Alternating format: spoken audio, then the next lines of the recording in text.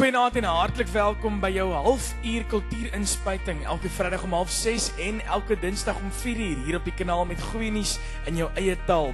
Nou ja, vir al die Gautengers wat jaarliks na Mosambiek reis, julle moet verby die dorpie Komati Poort gaan op die N4 roete wanneer jy na hierdie bestemming op pad is. Vanaand kuier ons by die Komati Poort Akademie, 'n skool wat vir die laaste klompie jare al presteer op akademie sport sowel as op kultuurgebied. Hulle is 'n Afrikaans medium skool, een van die min wat nog oor is in hierdie provinsie. En vanaand wys ons vir jou hoe hierdie skool op kultuurgebied kan spog en kan presteer. Ons kyk ook na vanoggend se besoek aan die skool en die daaglikse roetine van 'n leerder wat hier skool gaan. Ek is Antoni Boukus en vanaand verwelkom ek jou dan by niemand anders nie as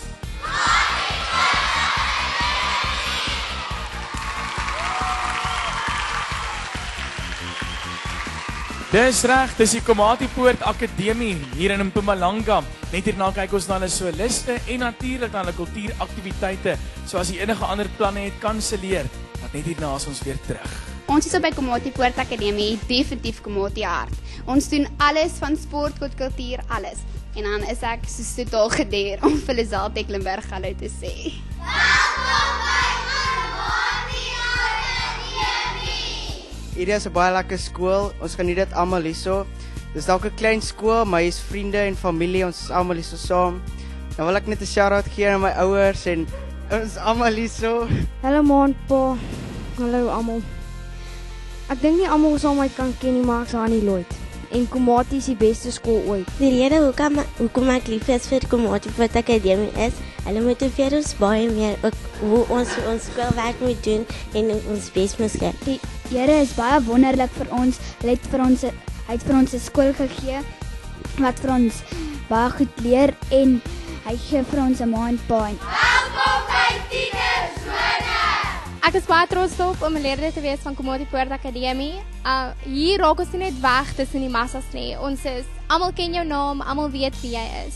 Almal ken jou talente. Elkeen van ons hierso is spesiaal. Goeienaand kykers. Ek is Omond Lombard, hoof van Komati Poort Akademie. Komati Poort is geleë sentraal tussen Mosambiek, Swaziland en die Kreerwiltuin. Ongelooflike bestemming om te wees. Komati Poort Akademie het sy deure geopen in 1946 toe 17 leerders hier met 'n trein aangekom het van Malelaan en die omliggende gebiede. Die laerskool het gegroei en so in 1998 het ons die deure geopen die eerste keer vir die hoërskool.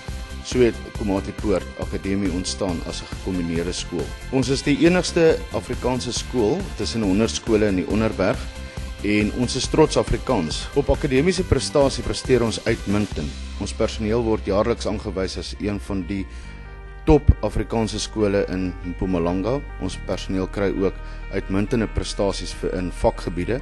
Ons leerders se onderskeidings wissel van 1 tot 7 in graad 12.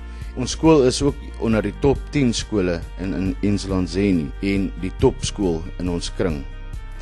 Op sportgebied doen ons atletiek, rugby, netbal, hokkie, swem, golf, tweekamp, krieket, landloop en skaak. In atletiek is dit die tweede jaar wat ons aan die Laveld Interhoor deelneem en ons het al twee jare die prestasiebeker verower.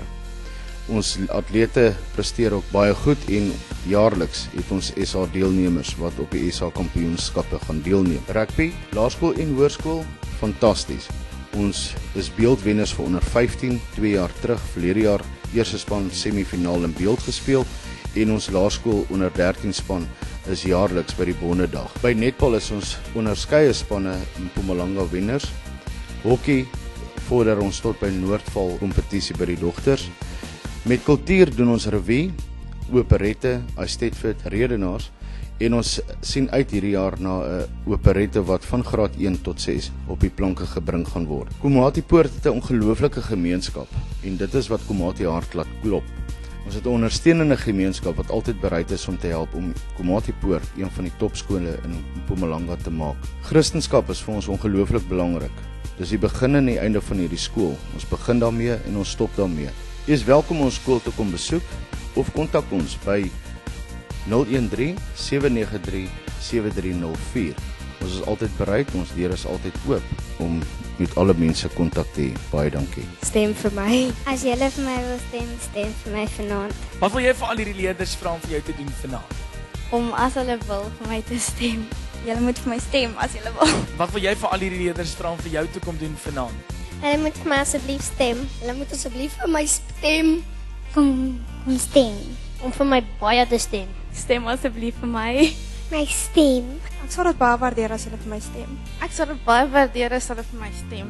Suid-Afrika, een van hierdie deelnemers aan my linkerkant, gaan vanaand die stryd verder aanpak in die grootste skole sangkompetisie in Suid-Afrika en in Namibië, so lus vir Christus.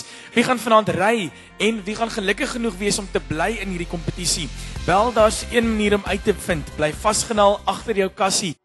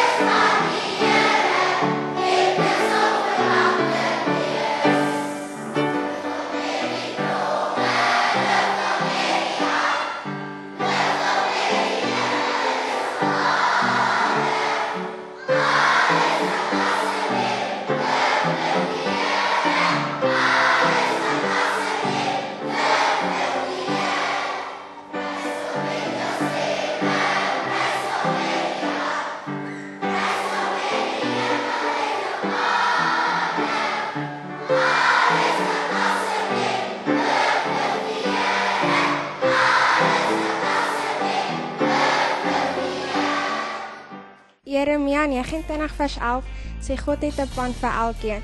Sy plan was vir my om in hierdie skool te wees, dis hoekom ek so lief vir ons skool. Ek wil net praat oor hoe wonderlik hierdie skool is, vir al die onderwysers. Juffrou Maritjie is die beste onderwyser wat hier is. Dis ons Afrikaanse juffrou. Hallo mamma, hallo pappa, hallo oom Orgie, hallo familie. Die skool is baie lekker en Komati is die beste. Ek is lief vir die skool en dit is al wat tel. Die skool is baie mooi. Hallo ma, hallo pa. Uh, ek is lief vir julle. Ek gebruik dan ook hierdie geleentheid om namens Komati Poort Akademie vir ons beheerliggaam, ons ouer gemeenskap, asook my personeel baie dankie te sê vir julle toegewydheid wat julle altyd openbaar teenoor Komati Poort Akademie. Baie dankie.